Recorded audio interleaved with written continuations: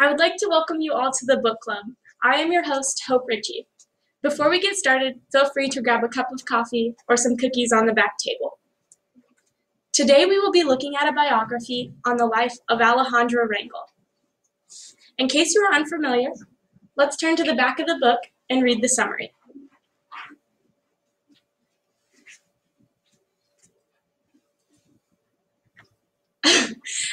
Alejandra Rangel is an exceptional teenager. To, as you read, we will learn about her family and friends, her hobbies and interests, and her goals and plans for the future. To start off our close reading, let's skim to chapter 1 Alejandra's family and friends. Pictured here is Alejandra's family her mother, Maria, her father, Jose, her brother Diego, and of course, her.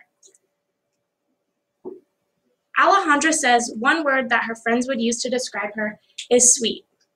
Pictured here is Alejandra's friend Kelsey, Delaney, and down below are some more of Alejandra's friends. Hannah, Megan, Bree, Maddie, and Marissa. Now let's flip the page to chapter 2. Alejandra's hobbies and interests.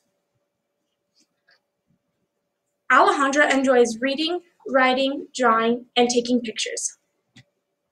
This flower is one of the many pictures Alejandra has taken. During Alejandra's free time, she, enjoy, uh, she watches her younger brother and studies, but when she puts the books down, she likes to go to the movies with her friends and family. Her favorite movies are The Hunger Games and Fast and Furious. Now let's move forward to chapter 3 Alejandra's goals and plans for the future. Alejandra is excited to graduate this coming spring. She plans on attending Iowa Western Community College for two years and then transferring to UNMC, where she plans on becoming a nurse practitioner or a forensic psychologist. Now that we have read through all three chapters, let's flip back to the table of contents and review what we've read.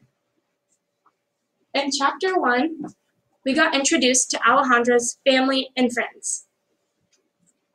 And in chapter 2, we discovered Alejandra's hobbies and interests were reading, writing, drawing, and taking pictures. In the final chapter, we discovered Alejandra's plans on becoming a nurse practitioner or a forensic psychologist.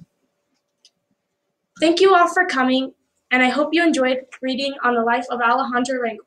Feel free to grab an extra cookie on the way out.